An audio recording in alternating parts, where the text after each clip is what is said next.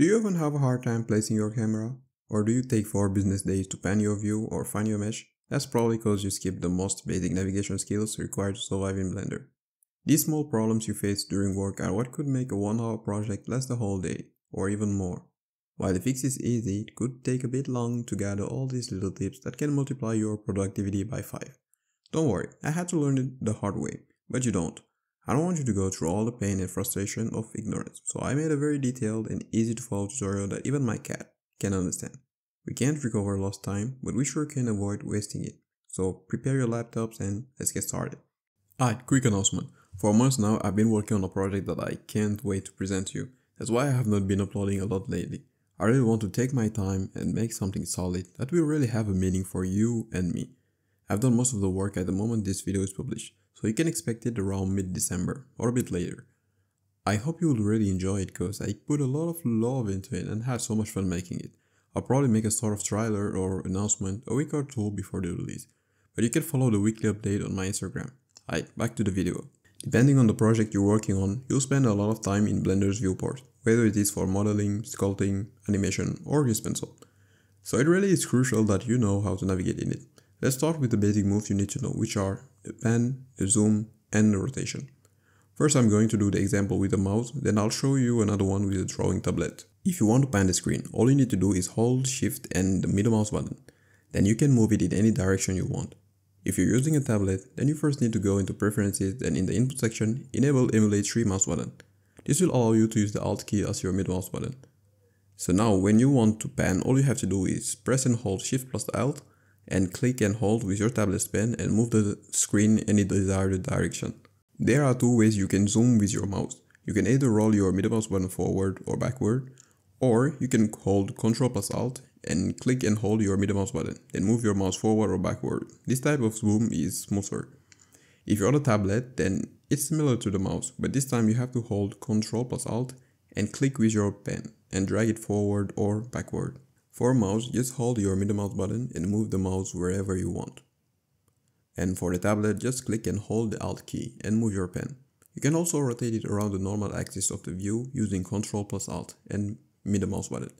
I discovered this while making this video and I think it could be helpful for Grease Pencil users for example. Alright, now you know the simple moves, let's get to the next step, the focus and the fly mode. When you're working on a mesh or any object and you zoom on a certain part or you pan the screen to a point you can't see the mesh anymore, even worse, when you rotate the screen it is not centered on the mesh. What if I tell you that there is one key that if you press it, you can put the focus back on the main object without panning or zooming to get back to where you were. That key is the dot key. Yeah, it's that simple. Just select the object, face, bone, or even a vertex you want to focus on and press dot on your numpad. The view is now centered on the main object selected.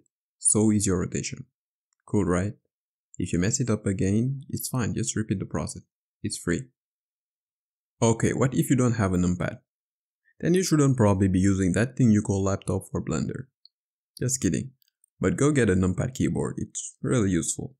So just go to preferences, open your key map, on the 3D view look for pivot point and you'll find what key does it for you. Alright, with all the skills you picked up, you're twice the person you were before watching the video.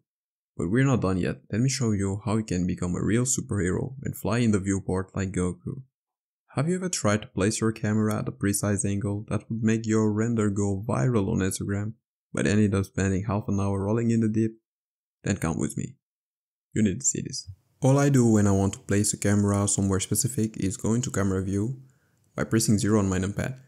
And now I press Shift plus F and voila, I can fly inside the viewport using the keys showing on the screen. I can go up, down, forward, back. I can even increase or decrease the speed of the movement by rolling my middle mouse button up or down. These are the default settings, but you can change them in preferences later. If Shift plus F doesn't work for you, it's absolutely normal. It's because it's my custom shortcut. You can add yours by going into View, click on Navigation, right click on Walk Mode and add your own shortcut. Yeah, it's called Walk Mode because there is another Fly Mode which is a bit different. I don't know about you, but that's not how I walk in real life, so let's just call it Fly Mode too. Right, you must be feeling extremely cocky now. You, all this power in your hands, too much to handle. While it might be a good idea to write all this down so you don't have to search for the video again, or you could also subscribe. Last thing before we move to edit mode, the orthographic views. There are three of them. You can switch between them by using your numpad. Yeah, again. Click 1 if you want to go into front orthographic, 3 for profile, and 7 for top.